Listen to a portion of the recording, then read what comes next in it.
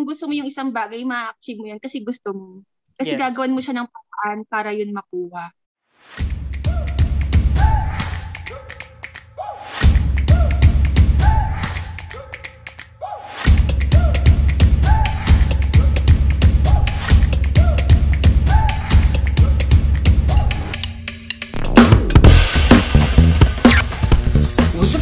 Welcome back to my channel.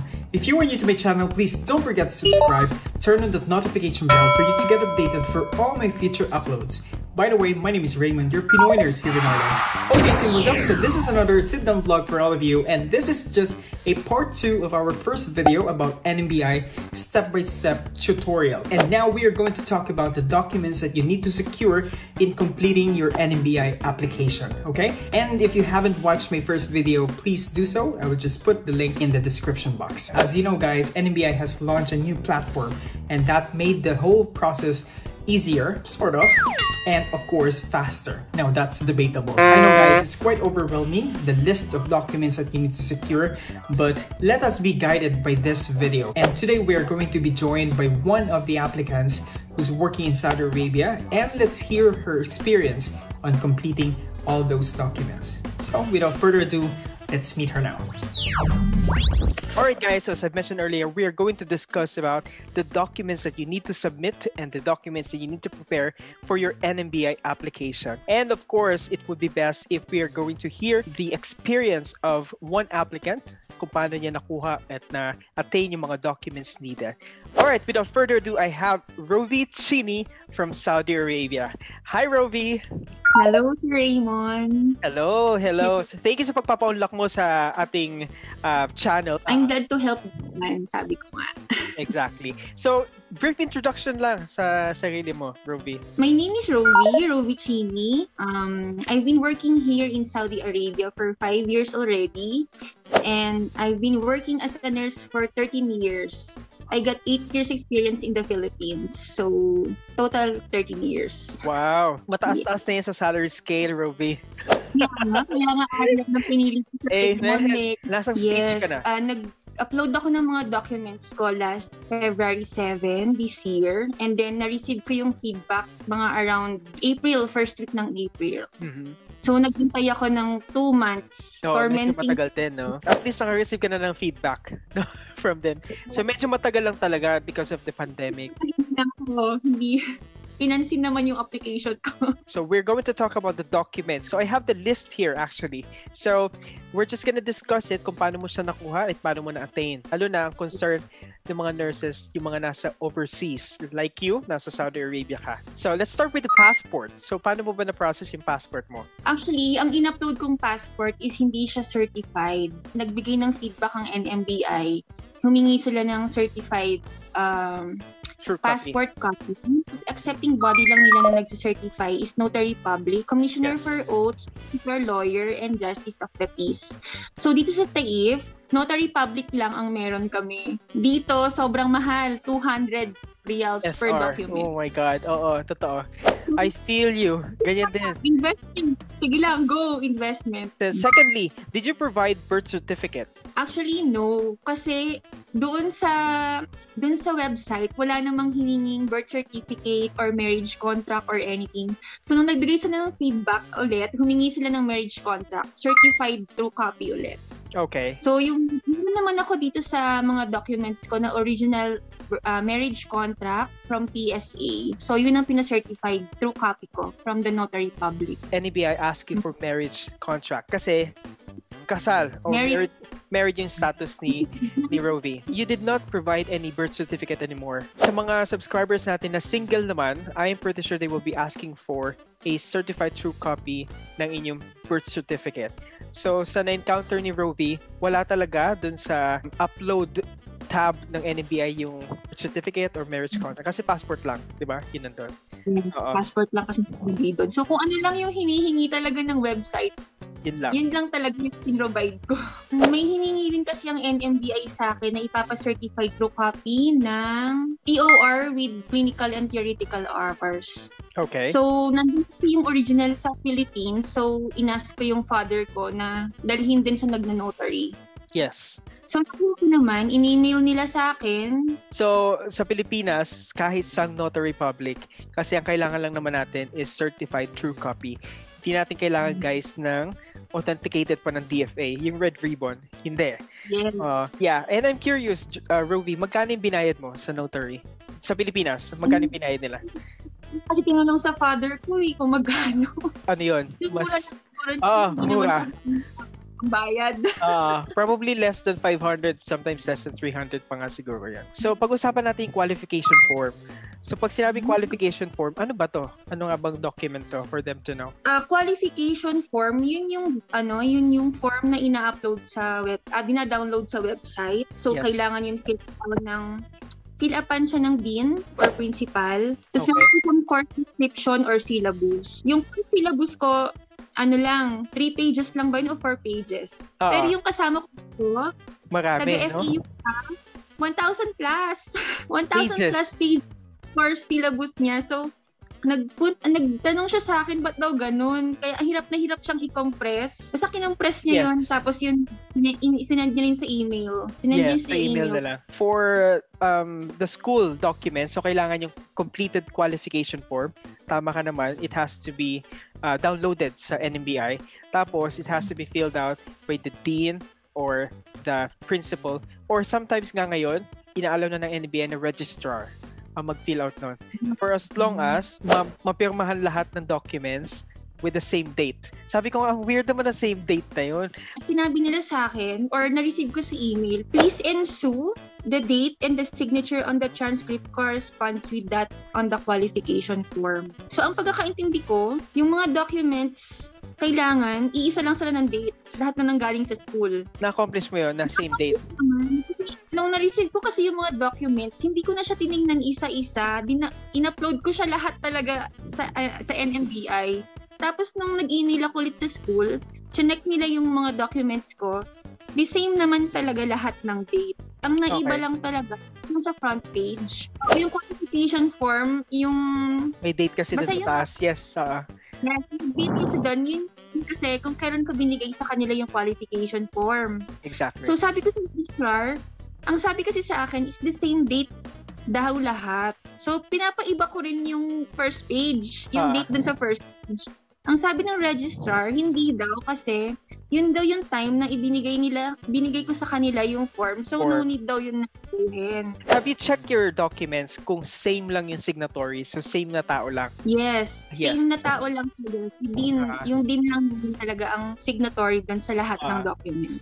Yung diploma, have you uploaded a new diploma or yung diploma mo lang na nasa iyo? Tapos pina-certified mo lang. meron akong original copy. Ang yun akong in-upload, hindi siya certified true copy. So, Okay. nung na-receive ko yung feedback, kailangan daw ipa-certified true copy yung diploma. So, another 200 reals ulit. So at least, yung copy ng diploma mo, no need naman to be updated or new. For as long as you can secure a No. certified copy of that. Okay, that's good. Kailangan uh, notarize lang siya. So medyo madugo Mm. yung mga certified copy, no dami kailangan i-certified. Pero mabilis lang naman, no? Yes, mabilis lang. In one day naman ma-accomplish yun. Ang sabi ng father ko, by appointment daw yung pag-notary sa Pilipinas kasi nga, nililimit lang yung Ah, Tao sa exposure, yeah. office. Sa bagay, sa So- Pilipinas naman, marami ding notary public. So, maghanap-hanap na lang din ng mga notaryo. Now, eto na, ang pinaka-intay ng lahat, yung sa PRC documents. How did you submit your good standing certificate? nag-apply ako email.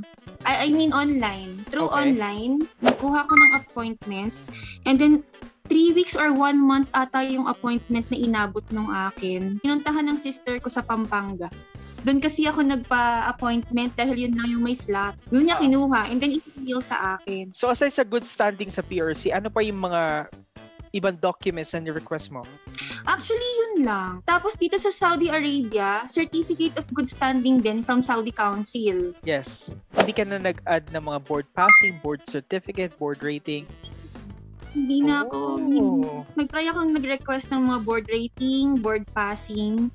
Pero kasi yung year 2007, wala na dun sa system nila. Ah, okay. So, hindi hindi ako nag-request na kasi wala na siya sa system. So, Okay. ang na-request ko lang is yung ang certi- ah, Certificate of Good Standing. Yeah, that's good to know, ha? Kasi yung iba, Ano nag Walang message from NBI? Walang Kailangan ko ng board, board Ah. passing. Nag-upload din ako ng board, board certificate, pero that was yung nakuha ko pa noong 2007. Original, okay. Yung may lupon, yun. Yes, ito po ng mga registrado nurse. Ah? Tapos hindi naman na ako nila hininga ng iba pa. So, Certificate of Good Standing from Saudi Arabia, mabilis lang naman kumuha, no? Kasi online lang. I-email lang sa'yo, right? Ah, pati yung certificate ng Saudi Council, pinatranslate ko pa yun sa English kasi naka-written, naka-written written siya sa Arabic. Yung ba yung may may school na nakalagay? Na certificate? Yes. Ah, ah, ah, nakalagay ah, ah. yung Nala-. So, kung nasa Saudi Arabia kayo, just supply that, that kind of document din. Now, employer naman. So, ang question dito, debatable kasi ito eh. Kasi sabi ng NBI, you can upload your latest employment. 'Di ba? Mhm. Pero may mga experience yung ibang subscribers or yung ibang applicants na hiningan din sila ng employment certificate from the previous employers. Now, I want to ask you, how did you do it? Ah, actually, hininga nila ako ng previous ah, employment. Yung pinasa ko kasi wala, talagang bare lang siya, walang stamp or signature ng chief nurse. May na-receive akong feedback from NMBI na yung previous employment ko has to be stamped by the chief nurse, head nurse. Binalik na naman ng father ko sa hospital, pinastamp niya. Pinas pinastamp ko na yung lahat ng page, per page yung pinastamp ko. Ah, just to be sure. Oo. dito sa Saudi Arabia, parang kasi ako ng problema. So, hininga nila ako ng, ano, ng confirmation kung currently employed pa rin ako. So, nag-secure ako ng verification letter dun sa hospital namin. And then, dun ko nalaman na yung ginagamit kong hire date is mali pala. Actually, yung unang employment form na pumirma is yung head nurse ko. Eh, nasa bakasyon siya ngayon. Employment form ko na may tama, tama na yung hire date, pinagawa ko dun sa DOF. So, Okay. until now, in-apply ko pa. Okay. Regarding dun sa employment form, di ba meron dong level of competency? So, maraming nalilito. Ano nga bang ilalagay doon? Saan ba tayo magbe-base? In your experience, saan mo kinuha yung level of competency? Dun sa guidelines ng NMDA, ina, ah, dinownload ko kasi yon tapos binasa ko. Okay. May may part doon yung mga level of competency. Yun ang sinabi ko dun sa ano, sa head nurse namin. Ah, so provide mo yung level of yung yung competency Oo. guidelines na yun. Okay. Sa kanya yung copy, binigay ko sa kanya yung copy ng competency. Nasa applicant user guide 'yon. Sa applicant user guide. Pag left 1 to 5 ata yung nandoon. Pero 4 and 5, 4, eh, 4 and 5 is actually parang equal lang. Reading the applicant user guide talaga is really helpful Mhm. kasi dun, dun naman lahat eh as I mentioned sa first video, yun yung pinaka bible natin and guide. So yun guys, so it technically it has to be signed by your um, director of nursing. Pero po kung wala naman, your immediate superior can do that. Okay? For as long as to secure the signature and also stamp. Importante yung stamp, guys. And by the way, dun sa hospital mo ba, yung stamp nila is dry seal or yung stamp na ano talaga? Mo yung stampad lang, stampad. Stampad. Okay. Kasi may iba kasi na dry seal. Problema naman, yung- hindi makita sa scan. There is also, because merong ding experience, ang hinahanap naman nila ng NMBI is the work gap um, explanation. Did NMBI ask you for that? Eh, hindi nila ako hinanapan ng work gap. Humingi sila ng humihingi sila ng explanation sa akin bakit ako nag-work sa Saudi Arabia nang wala pang license. Okay. Gumawa ka ng narrative and then you just emailed it to them? gumawa ako ng, gumawa ako ng letter na nag explain talaga na nung dumating ako dito, nakapasa na ako ng Prometric. So, I'm qualified to work na kahit wala pang license. Kasi, dumating ako dito, ah, June 7, pero yung, li- pero yung license ko ng Saudi Council is lumabas ng November. Okay. So, they asked me for an explanation as to why I was working ah, during that time nang wala pang lisensya. So doon mo makikita guys, yung mga gustong mga documents ng NBI really varies sa applicants. Yung iba naman, work gap, yun ang tinatanong. There's no specific form for the explanation that you made. So you just like narrative lang. Wala ako ng letter. I'm sure itatanong nila, paano mo naman ini-email back yung mga documents na ina-ask nila? Yun man yung sabi sa akin ng assessor. Um, Yung mga documents, if ever daw na hindi ko ma-upload dun sa website, pwede kong i-email dun sa thread. Binigyan ka na di ba ng reference number? Yes, meron. Meron siyang LOA reference. Kasi they're using that to open your account. Kasi, for example, mag, mag-message ka sa kanila without any reference number, medyo magugulumihanan sila. Mukha lang marami yung documents, pero marami naman talaga. Pero everything can be achieved. Yes, naman. Oo. Yan nga lang, mag-iintay, mag-iintay kasi especially dito kasi Ramadan ngayon. Hirap kasi from night duty ka, tapos pupunta ka ng pupunta ka ng has, ng hospital para magkuha ng mga documents. Mahirap, sacrifice talaga Totoo. para sa pangarap. Sabi ko nga kahit anong mangyari, Ireland talaga, sa Ireland ako pupunta. O, saka nasimula mo na. 'Di ba? Nasimula mo na. Yes. Finish finish the race, Ba- kumbaga. Yung mga two months na yun, sabi ko nga sa'yo, tormenting two months. Sabi ko, ano ba, mag apply na ba ako sa UK? Kasi yung IELTS ko, pumasok din siya sa UK. Pero binubulok talaga ng heart ko sa Ireland ka, Rovi. Ireland ka. Ah. Mararamdaman mo naman yan eh. Mararamdaman mo yan. Waiting game na lang tayo, Rovi. For my last question for you, Rovi, um, what is Mhm. your advice to those aspiring nurses? Lalo na ngayon kasi may mga nagpa-process medyo frustrated na sa, alam mo yun, sa documents, sa delay. So what can you say? Huwag tayong susuko sa pangarap, laban lang. Laban lang. Oo. Pero talaga kung gustong gusto mo talaga, gagawan mo ng paraan. Ang stra- may struggle din ako dun sa school. Ayaw nilang i- i-provide yung yung mga documents na hinihingi. Kung gusto nila, sila mag-send NMDI. Directly, yes. Okay, so sabi ko, ma'am, kasi may bago ng system. Binigay ko yung user guide, sinend ko sa kanila yung user guide, tapos gumawa pa ako ng letter. Kung gusto mo yung isang bagay, ma-achieve mo yan kasi gusto mo. Kasi Yes. gagawin mo siya ng paraan para yun makuha. Continue chasing our dreams lang. Pasasaan ba at the end, makukuha din natin yung mga pangarap natin na yan. And ask for His guidance. Exactly. Amen to that. Pray, pray. Yan talaga yung ano natin. Yan yung magbibigay sa atin ng hope. Yung prayers na yan. Prayers can move mountains, sabi nga nila. And it's true. Ruby, thank you so much ha, sa pagpapa-unlock dito sa ating uh, video, okay, discussing about the documents. Yung mga documents na needed or NBA is asking really varies sa mga applicants kung ano yung mga nakikita nila discrepancies or any verification that they need. So we just need to supply them those documents. So waiting game na lang tayo sa Ruby and I'm so excited na malaman soon na may decision letter ka na, di ba? Kaya nga, actually, actually, I'm praying for the pin na. oh, for the pinamalay mo, automatic registration ka, di ba? Thank you, ah. Thank you, Ruby, for, for this uh, chance that you have given. Uh, for giving me a chance to share my experiences. Yeah, no problem, no problem. And I really appreciate it. Once again, thank you so much for watching this video. And if you haven't done it yet, please do subscribe to my channel and follow my Facebook page, Nurse Raymond123. I'll see you next time, guys. Bye.